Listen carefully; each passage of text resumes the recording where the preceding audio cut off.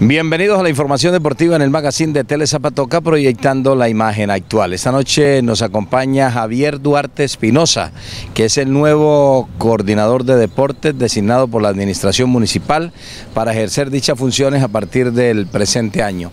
Javier, bienvenido, buenas noches. Muchas gracias, buenas noches Néstor. Y un saludo a la, a la de Zapatoca y estoy muy feliz y contento de estar aquí agradeciéndole primero a Dios y a la doctora Diana Gisela Prada y al gestor social que me han tenido en cuenta para esta labor y que vamos a desempeñar en el deporte en Zapatoca. Bueno, ¿desde cuándo está desempeñando la labor de coordinador de deportes en el municipio? Desde el día 6 de febrero tomé el cargo. Es decir, el pasado lunes. Hablemosles a la teleaudiencia quién es Javier Duarte Espinosa. Javier Duarte Espinosa es un deportista comprometido y un zapatoca que siempre ha estado aquí apoyando el deporte, incluso he estado representando a Zapatoca en muchos torneos que, que han existido y quiero también sacar adelante y reflejar y echar para adelante el deporte en Zapatoca, salir adelante. El Departamento de Desarrollo Social y Comunitario, eh, que lo dirige la doctora eh, María Rosana eh, Rondón Suárez eh, se ha preocupado mucho por el deporte acá en el municipio, tanto a nivel local como también en el campo. Entonces vamos a tratar de que invitar a los zapatocas a que hagan deporte y a los deportistas a que se vinculen en todas las disciplinas que vamos a, a tener en cuenta este año.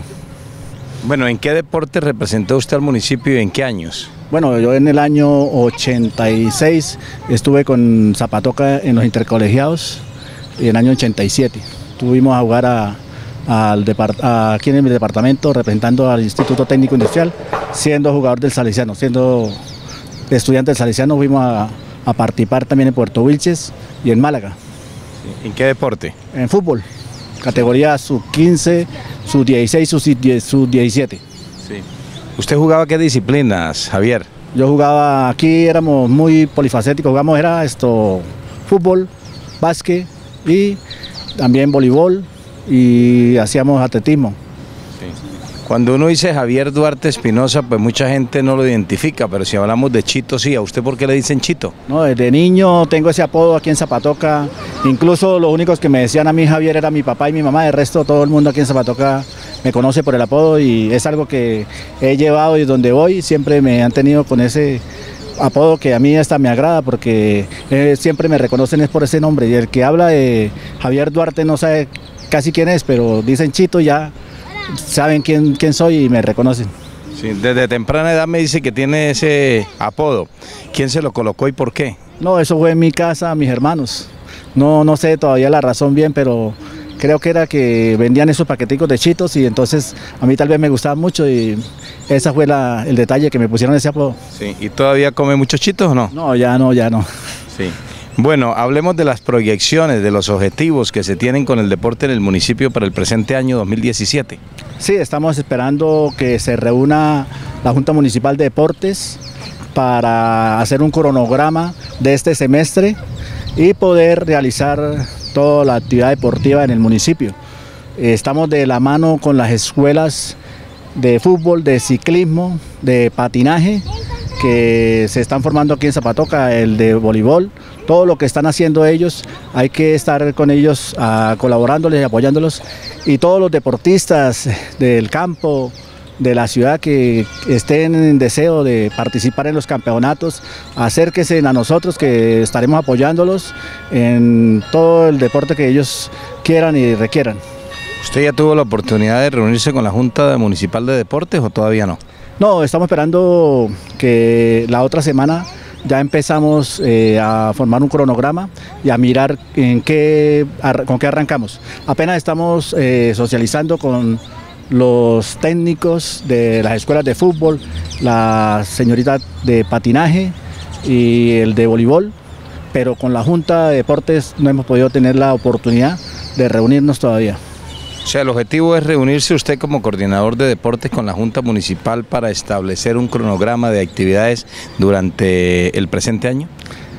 Sí, señor. Esto, eh, este año vamos a, tener en cuenta muchas disciplinas que aquí en Zapatoca de pronto no se han realizado y queremos eh, fomentar sobre todo en los niños eh, que este año vamos a ver si tenemos mucho deporte a nivel infantil. Entonces vamos a estar pendientes de toda la disciplina deportiva con la Junta de deportes. O sea, ¿se va a hacer mucho énfasis en el semillero, en las categorías inferiores, las categorías de menores? Sí, porque lastimosamente el jugador de aquí de Zapatoca se queda acá y no sale acá, entonces cuando vaya tarde a, presentarse a una convocatoria en Bucaramanga, le falta roce, le falta sí, competencia y entonces queremos que también haya la participación de los padres de familia con los muchachos para que acompañen ese proceso. ¿Todavía juega fútbol o ya no? Sí, todavía juego fútbol. Eh, en este momento está vinculado a un club en Lebrija y hace dos años que como mejor jugador del torneo. ¿De veteranos? De veteranos, sí señor. ¿Hace cuánto juegan veteranos? Ya hace siete años atrás. Siete años atrás. Bueno, usted me dice que nació en Zapatoca, pero hacía varios tiempo que no estaba radicado en el municipio. Sí, yo a los 20 años me fui a hacer futuro a Bucaramanga, pero casi siempre estuve radicado en Girón. Pero yo constantemente venía, muchas veces incluso estuve participando en los campeonatos de aquí municipales. Fui campeón con varios equipos, participé en varios torneos de fútbol y entonces después ya por el tiempo ya que uno tiene de, va envejeciendo, ya no, no, tiene el mismo recorrido de antes, entonces ya deja uno, da un lado, da un paso al lado para que venga otro y lo reemplace. Sí. Recordémosle a la gente en qué posición jugaba usted en su época de futbolista, digo en las categorías de menores, aún sigue jugando todavía, pero ya en veteranos. No, yo era 10, jugaba en la posición de mediocampo, entonces era el 10. Eh, ese paso de deportista, dirigente, ¿cómo se da? Eh, bueno, esto mirando que eh, me gusta mucho el deporte, ¿sí? Y entonces eh, ya uno mira es como a proyectar, a formar, a tratar de fortalecer y busca uno la, todavía estar metido en el cuento, pero de otra forma, pero en el seguimiento de ahorita con los niños más que todo, con los jóvenes, para que haya deporte, que se, la gente se divierta y acompañe los papás a los hijos estén en esa disciplina, estén ocupaditos haciendo deporte. ¿Ya tuvo la oportunidad de visitar los escenarios? Sí, ya estuvimos en, el Campín, ¿sí? y estuvimos eh, en el Coliseo que lo están eh, terminando y en el Polideportivo. Hemos estado en la cancha del Salciano, están entrando los niños, allá en la cancha de voleibol también. Y estamos eh, terminando esas obras para ver si arrancamos de una vez este año temprano los campeonatos municipales.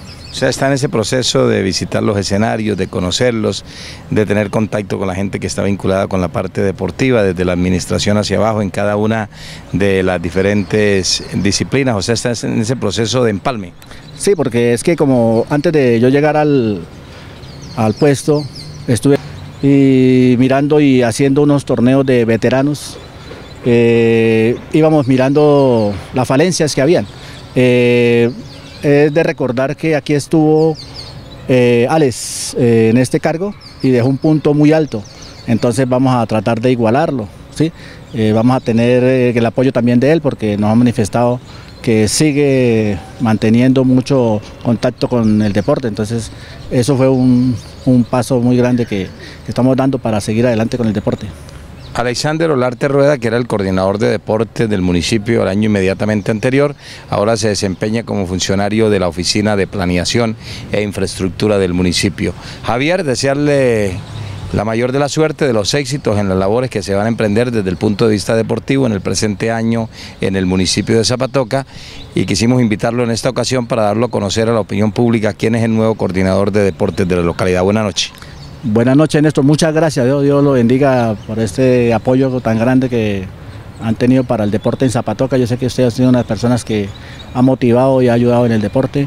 Eh, a los zapatocas que se vinculen al deporte, que vamos a trabajar fuerte en todo, todos los deportes, todas las disciplinas y Dios quiera que todo salga bien para el gusto de todas las personas.